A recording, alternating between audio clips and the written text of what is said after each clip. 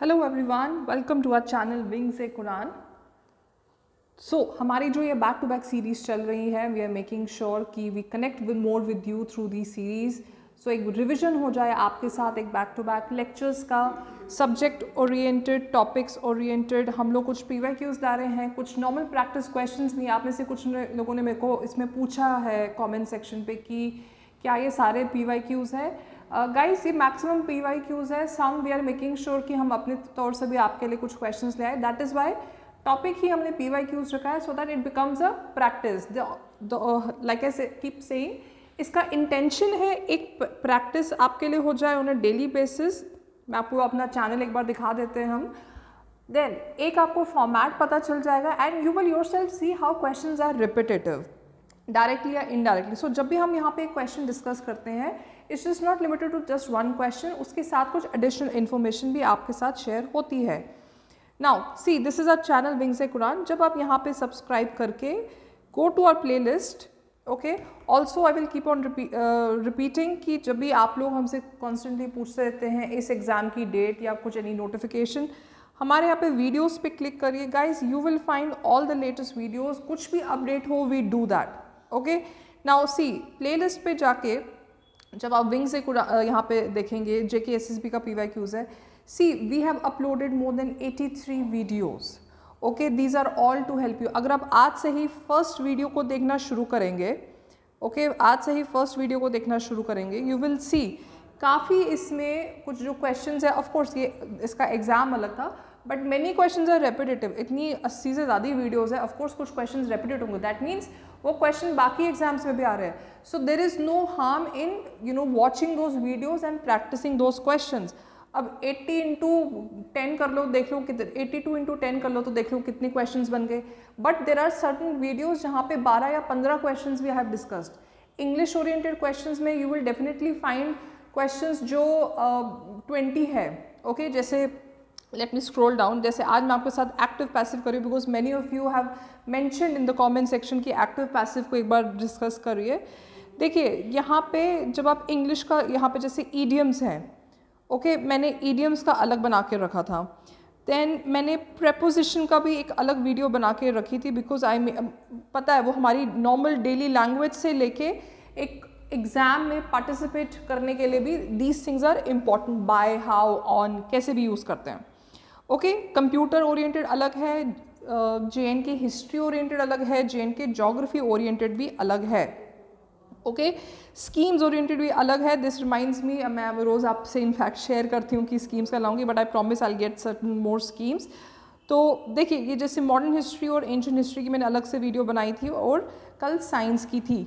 Now let's start okay now guys, before we move ahead, मैं let's just discuss what are active and passive voice, okay? काफ़ी बार ये ये, देखो, ये सारे एग्ज़ाम्स में आते हैं। दो तीन क्वेश्चन तो इसके आते हैं। दो दो क्वेश्चंस ईडियम्स के आते हैं, फिर कुछ क्वेश्चंस आपके सिनोनिम्स और एंटोनिम्स के आते हैं। So we know the format like this was the intention behind these videos now let's go active voice क्या रहती है? Where the subject subject is performing an action the dog chases the ball इसमें subject कौन है? Dog action क्या perform हो रहा है? वो चेज कर दैट मीन्स दौड़ना जो हम डॉग्स को यूजली करते हैं. एक्शन ऑन द टारगेट कौन है यहाँ पे? बॉल सो so, ये बेसिक एग्ज़ाम्पल है. पैसिव में क्या होता है? Uh, इसमें sentences get flipped that means उनको उल्टा भी करके बोल सकते हैं. And subject is now being acted upon by the verb subject is acted upon by verb now what is a verb अभी भी काफ़ी स्टूडेंट्स को कंफ्यूजन होती है वर्ब एंड नाउन्स में। Guys verb is a word जो indicate करता है क्या? कोई एक फ़िज़िकल एक्शन हो मेंटल एक्शन हो स्टेट ऑफ़ बीइंग हो दैट मीन्स कुछ काम करना एन एक्शन ड्राइविंग हो गया थिंक हो गया, वहाँ पे वो प्ले कर रहा है। Okay okay? अब जैसे लाइक आई सेड एक्शंस के related and how states being are अगर मैं कुछ एग्जाम्पल्स देख लूँ तो उसमें क्या क्या आ जाएगा?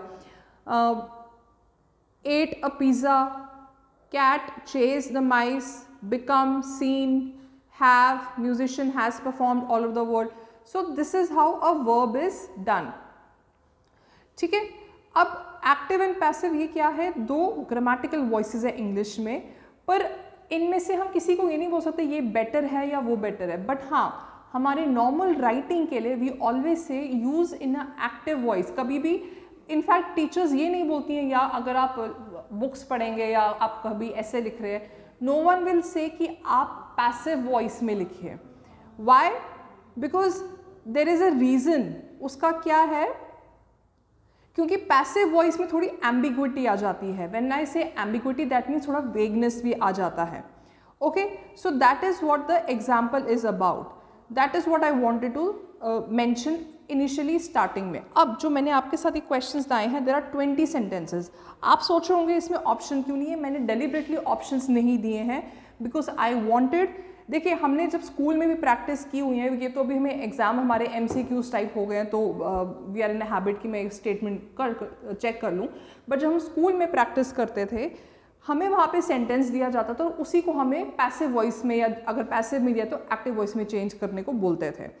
तो that is how I have done मैंने आपके लिए आंसर सामने रखे हुए हैं। What you guys can do is आप लाइक एन ऑनेस्ट स्टूडेंट और अ हार्ड वर्किंग स्टूडेंट आप जितने भी ये क्वेश्चन हैं, आप इनको कॉपी करके या इनको पॉज करके हाथ रख के you can answer it tell me your score कितना है, कितने स्कोर हो, क्योंकि कुछ sentences might be difficult I am not denying that some might be easy also now let's start the children laughed at the beggar okay this is the active passive में क्या है?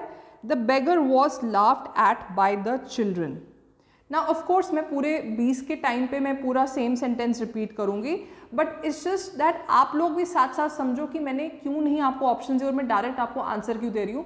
So that कल को जब आपको question पढ़े you will understand without even reading the option क्योंकि काफ़ी ऑप्शन बहुत ही सेंटेंस फ्रेमिंग को ख़राब कर देते हैं।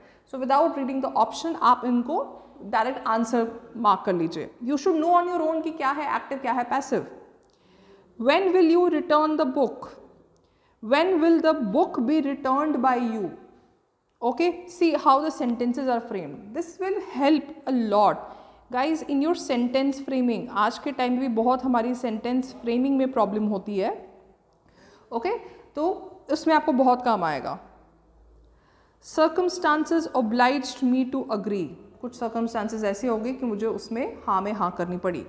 I was oblige to agree okay we must listen to his word his words must be listen to very beautiful sentence rather कि कैसे इसमें आपके लिए वो, इसको पैसिव में किया we must listen to his words his words must be listen to and must we have use this word earlier मैंने आपको मस्ट का मीनिंग भी समझाया, हम कैसे यूज़ करते हैं।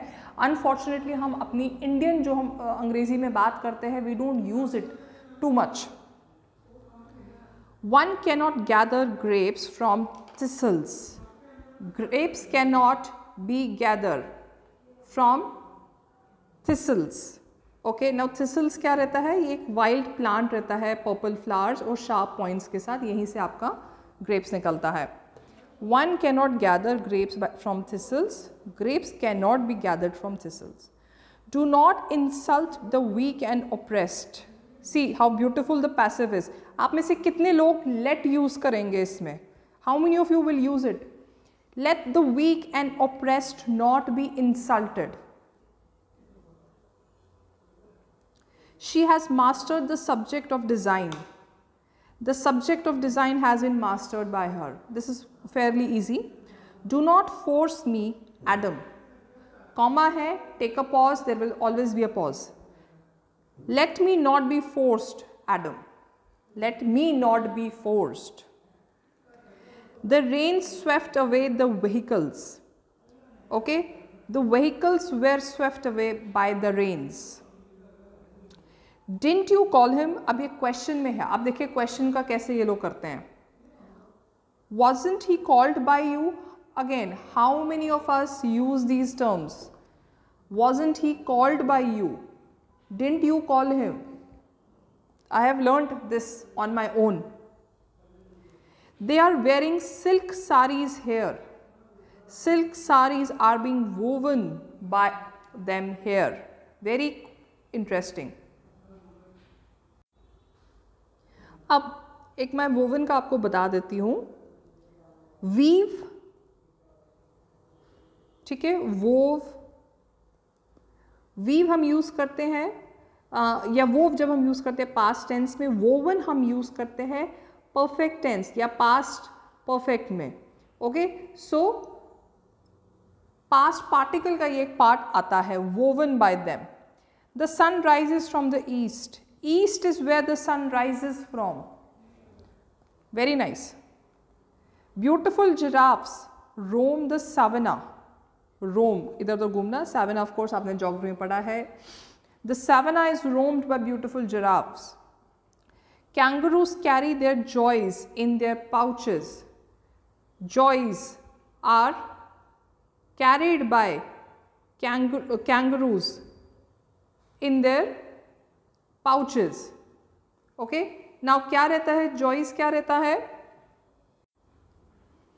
इनफैक्ट जॉयस वो रहते हैं जो कैंगरू के छोटे छोटे बच्चे होते हैं, वो जो आपने कैंगरूज की फ़ोटो देखी है स्टार्टिंग में कैसे वो एक पॉकेट टाइप में वो जो बैठ जाते हैं usually we call it pocket type within few months वो उसके बाद बाहर आ जाते हैं then they can roam around easily thousands of tourist visit the Grand Canyon every year the Grand Canyon is visited by thousand of tourist every year the movies are reviewed by him he reviews the movie He acted upon my advice. My advice was acted upon by him. People say that the earth is round. It is believed that the earth is round. Again, facts have not changed. Guys, one more important factor आपको याद रखना है active passive में never change the fact. Okay? Never change the fact. ये पूरे English में आपको याद रखना है whether we use prepositions direct speech में भी एक्टिव पैसेज में भी there has been times and we have dealt with students जब वो फैक्ट ही चेंज हो जाते हैं। सो so, बेसिक करिए पहले सेंटेंस को समझिए उसके बाद मूव अहेड एंड ट्राई इसको converting it into passive prepare self for the examination be prepared for the examination it is your duty to do this work you are suppose to do this work बहुत अच्छा है आपके लिए examination और work साथ साथ आ गया। Okay so guys these were the question and like a set कि मैंने डेलिबरेटली ऑप्शन नहीं लाए बिकॉज़ आई वॉन्टेड कि आप डायरेक्ट क्वेश्चन पढ़ के आंसर बता दो। That is a better practice of doing it जो हम स्कूल टाइम पे करते थे। Okay okay? इंग्लिश में आपको और भी किस टाइप के लेक्चर्स चाहिए प्रैक्टिस सेशन चाहिए please do let me know हम लोग ऐसे ट्वेंटी और twenty five quick question discuss कर सकते हैं। और any other view view point your comments do let us know in the comment section keep on sharing and watching our videos thank you so much